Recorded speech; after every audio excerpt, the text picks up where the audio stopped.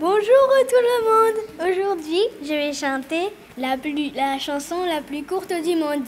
L'école, c'est trop nul. On travaille trop. Moi, j'y comprends rien. C'est bon, c'est terminé.